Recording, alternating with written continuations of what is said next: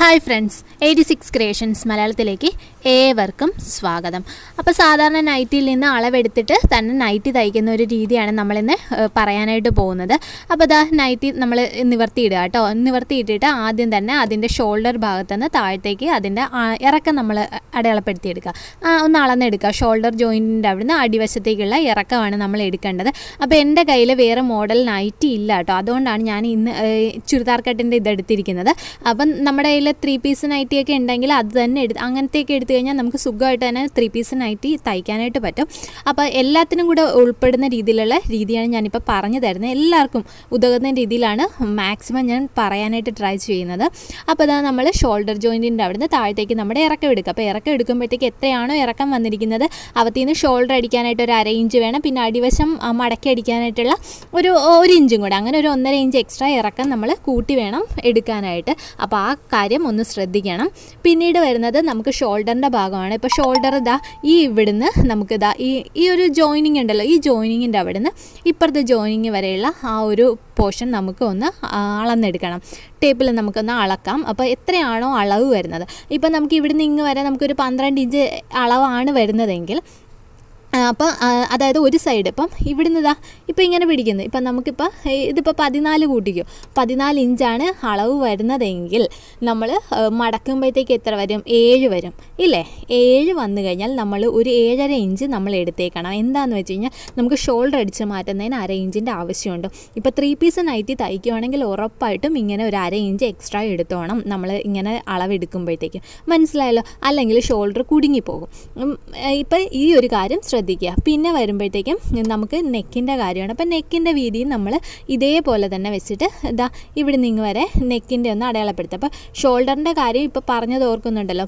Shoulder അതേപോലെ. ഇപ്പോൾ shoulder എത്രയാണോ അത് തന്നെ നമുക്ക് താഴത്തേക്ക് ആം ഹോളിനും നമുക്ക് എടുക്കാനായിട്ട് പറ്റും. ഇപ്പോൾ ഷോൾഡർ ഏഴ് അതായത് നമ്മൾ ഹാഫാണ് എടുക്കുക കേട്ടോ. ഹാഫ് എടുക്കുമ്പോഴത്തേക്കും ഷോൾഡർ എത്രയാണോ അത് തന്നെ നമ്മൾ ആം ഹോളിന് എടുക്കുക.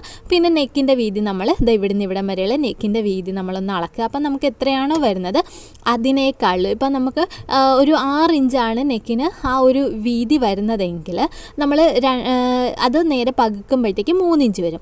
മൂന്നിഞ്ച് വരുവാണെങ്കിൽ ഒരു കാ ഒരു കാലിഞ്ച് കുറച്ചിട്ട് രണ്ടേ മുക്കാൽ ഇഞ്ച് നമ്മൾ മാർക്ക് ചെയ്യാവും. മനസ്സിലായല്ലോ? ഇതാ ഇവിടെ ഇപ്പോൾ എനിക്ക് നാലിഞ്ച് വന്നിട്ടുണ്ട്. എട്ട് ഇഞ്ചാണ് ടോട്ടൽ വന്നിരിക്കുന്നത്. അപ്പോൾ അതിന്റെ ഹാഫ് എന്ന് പറയുന്നത് നാലിഞ്ച് അപ്പോൾ ഒരുപാട് ഇറക്കം വെക്കാത്തോട്ടാട്ടോ കേട്ടോ ഇറക്കം വെക്കാത്തതുകൊണ്ടാണ് അത് അത്രയും വൈഡായിട്ട് വൈഡായിട്ട് കിടക്കുന്നത്. അപ്പം നാലിഞ്ചാണ് അത് വരുന്നത്. അപ്പം നാലിഞ്ച് എനിക്ക് വരണമെങ്കിൽ ഞാൻ മൂന്നേ മുക്കാൽ എനിക്ക് എടുത്താൽ മതി.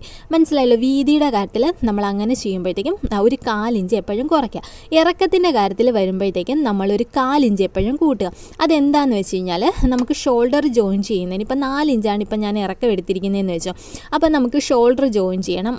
ഷോൾഡർ ജോയിൻ ചെയ്യണമെങ്കിൽ ഒരു അര ഇഞ്ച് വേണം. പിന്നെ അതേപോലെ നമ്മൾ തയ്ച്ച് വരുമ്പോൾ ഒരു കാലിഞ്ച് ഇറങ്ങും. അപ്പോൾ അതിന്റെ ആ ഒരു കണക്ക് ലെവലാകണമെന്നുണ്ടെങ്കിൽ നമുക്ക് കാലിഞ്ച് നമ്മൾ എപ്പോഴും ഇറക്കം എടുക്കുമ്പോഴത്തേക്കും കാലിഞ്ച് നമ്മളൊന്ന് കൂട്ടിയെടുത്തേക്കണം. അല്ല വീതിയുടെ കാര്യം വരുമ്പോഴത്തേക്ക് കാലിഞ്ച് എപ്പോഴും കുറച്ച് തന്നെ എടുക്കണം. അപ്പോൾ റെഡി അളവ് ഇങ്ങനെ എടുക്കുമ്പോഴത്തേക്കും നമ്മൾ സ്റ്റിച്ച് ചെയ്യാനായിട്ട് എടുക്കുമ്പോൾ നമ്മൾ ആ ഒരു മെത്തേഡ് എപ്പോഴും നോക്കിക്കോണം. ഇപ്പോൾ നാലിഞ്ചാണ്. നാലിഞ്ചിന്റെ കൂടെ ഒരു അര ഇഞ്ച് ഷോൾഡർ അടിക്കണമെങ്കിൽ നാലര ഇഞ്ച് അര ഇഞ്ച് പോകും ഇല്ലേ? ഷോൾഡർ അടിച്ച് കഴിയുമ്പോൾ അര ഇഞ്ച് പോകും. പിന്നെ ഒരു കാലിഞ്ച് ഓൾറെഡി ഇറങ്ങും. അപ്പോൾ മൂന്നേ മുക്കാലിലേ നിൽക്കത്തുള്ളൂ. നമുക്ക് നാലാണ് വേണ്ടത്.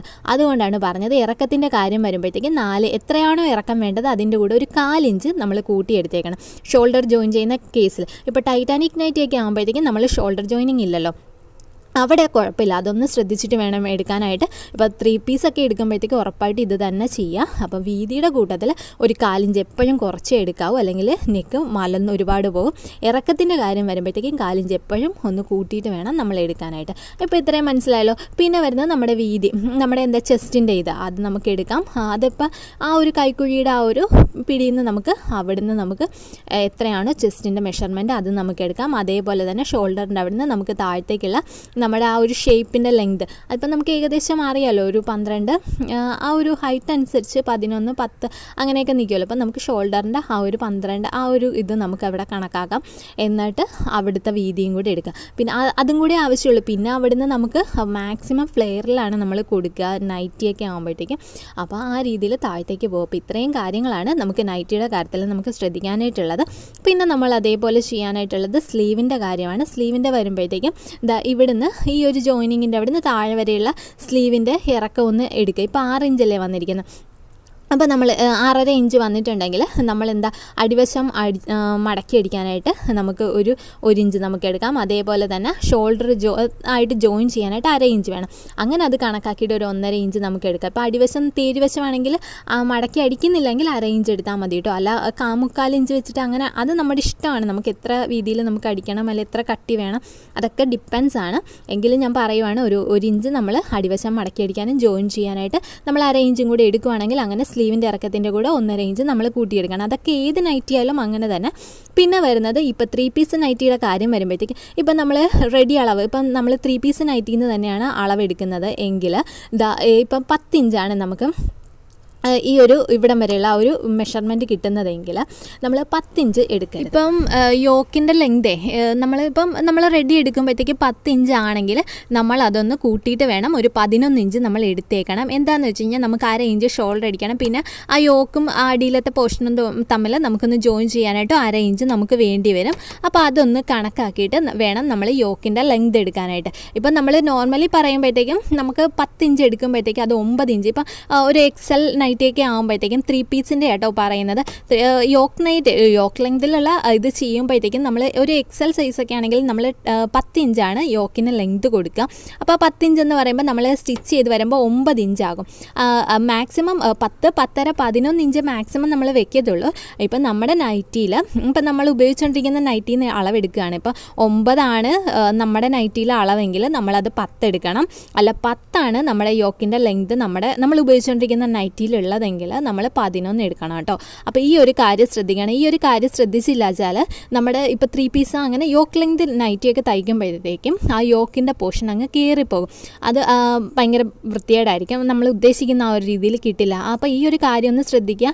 ഷോൾഡർ അടിച്ചു കൂട്ടണം. അതേപോലെ തന്നെ ആ ഒരു യോക്കും ആ അടിയിലത്തേക്കുള്ള പോർഷനും തമ്മിൽ ജോയിന്റ് ചെയ്യുമ്പോഴും അവിടെ ഒരു കുറച്ച് നമുക്ക് നഷ്ടപ്പെടും. അപ്പോൾ അത് കണക്കാക്കിയിട്ട് വേണം നമ്മൾ അവിടെ തയ്യൽ തുമ്പ് ഇട്ട് കൊടുക്കാനായിട്ട്. മനസ്സിലായല്ലോ? അപ്പോൾ ഈ ഒരു കാര്യം നമ്മൾ ശ്രദ്ധിക്കണം. അപ്പോൾ ഇതാണ് മെയിനായിട്ട് ത്രീ പീസ് നൈറ്റിയിൽ ചെയ്യുമ്പോഴത്തേക്കും യോക്ക് കയറിപ്പോകുന്ന ആ ഒരു കാര്യം വരുന്നത്. അപ്പോൾ ഇത്രയും കാര്യങ്ങൾ നമ്മൾ നൈറ്റിൽ നിന്ന് അളവെടുത്തിട്ട് നമ്മൾ പുതിയ തുണിയിലേക്ക് നമ്മൾ മാർക്ക് ചെയ്യുമ്പോഴത്തേക്ക് ശ്രദ്ധിക്കേണ്ടതാണ്. അപ്പം ഇതൊക്കെ മെയിൻ കാര്യങ്ങളാണ്. നമ്മൾ തയ്യൽ തുമ്പ് തയ്യൽ തുമ്പ് എത്രയാണോ നമ്മൾ എടുക്കുക അതനുസരിച്ച് നമ്മൾ എക്സ്ട്രാ തുണി ഇട്ട് കൊടുക്കണം. അങ്ങനെ ചെയ്യാണ്ട് വരുമ്പോഴാണ് നമുക്ക് ഭയങ്കര ടൈറ്റ് വരിക അല്ലെങ്കിൽ ഇറക്കം കുറയുക അങ്ങനെ പല പ്രശ്നങ്ങൾ ഉണ്ടാകുന്നത്. അപ്പോൾ അതെല്ലാവരും അതൊന്ന് ശ്രദ്ധിച്ചുകൊണ്ട് ചെയ്ത് കഴിഞ്ഞാൽ എല്ലാവർക്കും നല്ല സിമ്പിളായിട്ട് നല്ല ഭംഗിയിൽ നൈറ്റ് തയ്ക്കാനായിട്ട് പറ്റും. അപ്പം നമ്മൾ ബോഡി മെഷർമെന്റ് ഒക്കെ എടുക്കുന്നില്ലേ? നമ്മൾ ചെസ്റ്റിന്റെ അതൊക്കെ നമുക്ക് പിന്നീട് മതി. ഇപ്പം ചുരിദാർ കട്ടിന്റെയൊക്കെ ചെയ്യുവാണെങ്കിൽ മാത്രം നമുക്ക് ആദ്യമേ ബോഡി മെഷർമെന്റിന്റെ കാര്യമുള്ളൂ. അല്ല ത്രീ പീസ് ഒക്കെ ചെയ്യുമ്പോഴത്തേക്കും നമുക്ക് ചെസ്റ്റിന്റെ വണ്ണം അതൊന്നും ഇപ്പോൾ വേണ്ട നമ്മൾ ഷേപ്പ് ചെയ്യുന്ന സമയത്ത് അതിന്റെ ആവശ്യം വരുന്നുള്ളൂ. അപ്പോൾ എല്ലാവരും ഒന്ന് ട്രൈ ചെയ്യുക. വീഡിയോ ഇഷ്ടമായ ലൈക്ക് ചെയ്യാനും ഷെയർ ചെയ്യാനും സബ്സ്ക്രൈബ് ചെയ്യാനും മറക്കരുത്. Thank for watching.